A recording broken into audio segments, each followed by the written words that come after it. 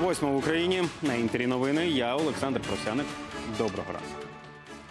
П'ятеро засуджених українців перебувають у московському СІЗО Лефортове. Цю інформацію підтвердили у слідчому ізоляторі. Повідомляє Крим Реалії із посиланням на представника російської громадської спостережної комісії Євгена Інікеєва.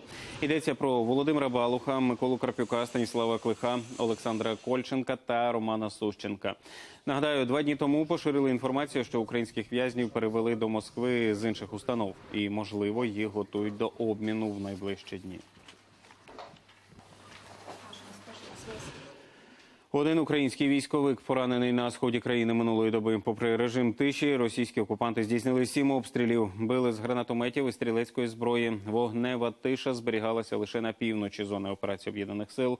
Два ворожих обстріли зафіксовано вже сьогодні. Найманці вели вогонь у районі Новотроїцького та Водяного на Приазовському напрямку. Учасників озброєного угруповання затримала поліція одночасно у Києві, Вінниці та на Черкащині. Усі жителі столиці, які намагалися втекти від правосуддя. Зловмисники нападали на елітні помешкання у Київській області та в інших регіонах. Погрожуючи власникам фізичною розправою, відбирали гроші, коштовності і інші цінні речі. Під час обшуків у крадіїв знайшли зброю та вибухівку. Тепер їм світить до 15 років ув'язнення.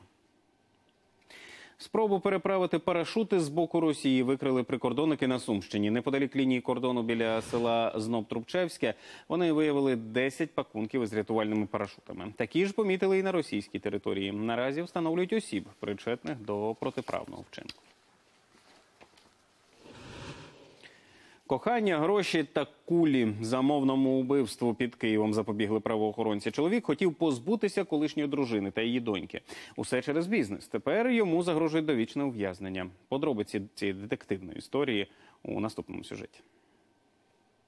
У броварах зникли мати й донька. Цими заголовками рясніли соцмережі та інтернет-видання. Про зникнення Надії Головач та її 31-річної дочки Юлії правоохоронцям повідомив цивільний чоловік Юлії. Уже через день покинутий ними в лісі автомобіль знайшли поліцейські. У ньому були тільки документи і особисті речі власниці.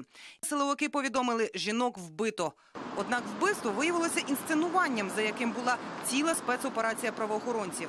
Олександр Головач, броварський бізнесмен, вирішив позбутися колишньої, щоб не ділити майно. Він знав, що невдовзі має бути рішення суду, і воно швидше за все буде не на його користь, а на користь дружини і її е, дочки. Відповідно, він вирішив замовити умисне вбивство цих двох жінок.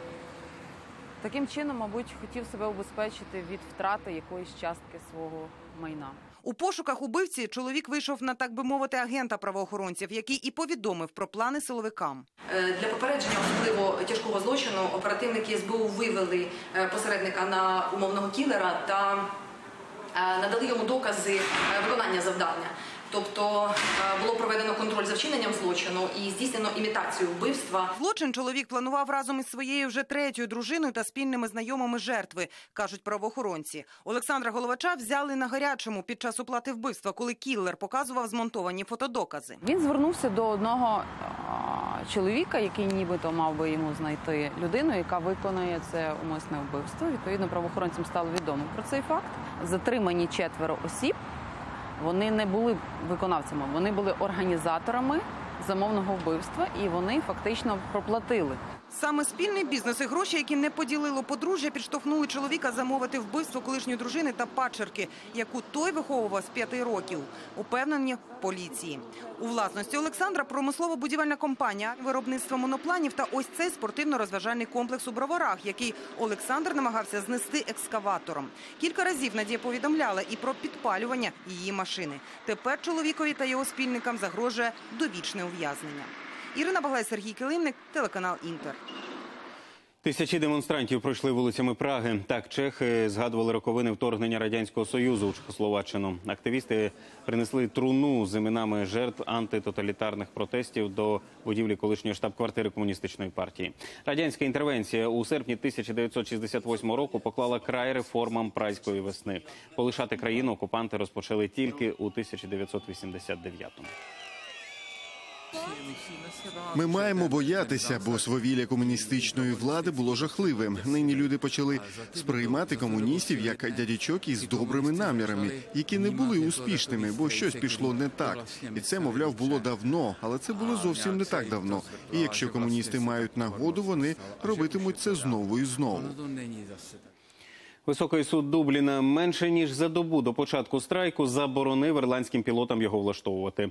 Мовляв, у такий спосіб профспілка авіаторів порушує процесуальні норми. Близько 180 льотчиків ірландського підрозділу лоукостера збиралися влаштувати протест 22 і 23 серпня. Вони вимагають поліпшення умов роботи, підвищення зарплат, а також зміни пенсійних гарантій і умов страхування. Керівництво авіакомпанії відзначило страйк у розпал сезону відпусток, зачепив би тисячі відпочивальників. Нині ж мандрівники можуть не перейматися. Усі рейси відбудуться за розкладом. У Сполучених Штатах обіцяють зняти четверту частину культової матриці. До своїх ролей повернуться зірки оригінальної трилогії. Кіану Рівз знову приміряє шкіряний плащ Нео, а Керрі Енн Мос стане Трініті. Чи буде у фільмі Лоуренс Фішберн Морфіус? І ще невідомо.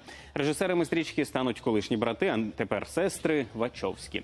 Е, Зйомки обіцяють розпочати 2020 року.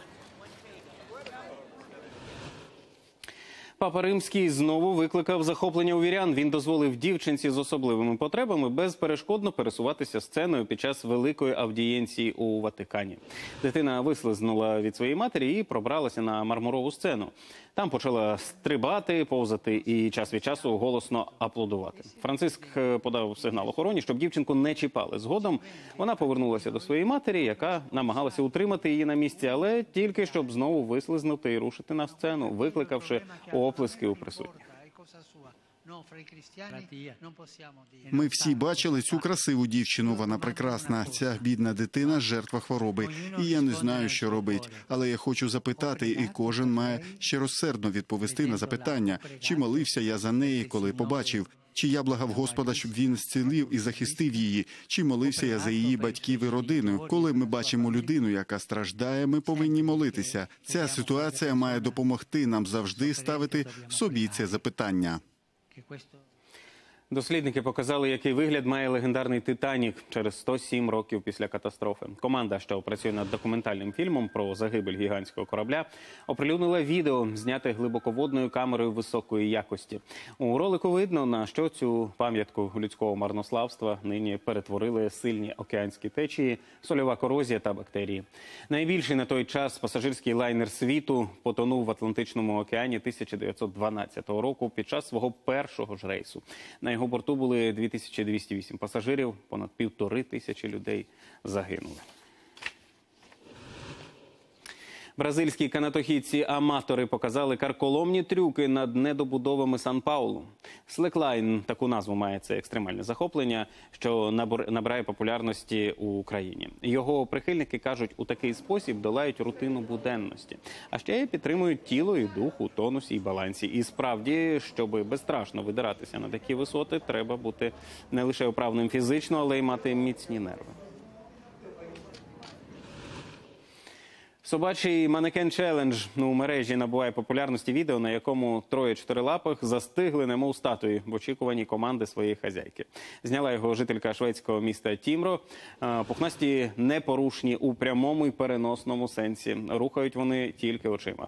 Інтернет-користувачам песики нагадали популярний манекен челендж. Це вірусний флешмоб, який передбачає, що група людей залишається нерухомою, допоки між ними переміщується оператор і записує відео. Наразі це все. Більше новин буде у випуску о 9 годині. Тоді побачимося. До зустрічі.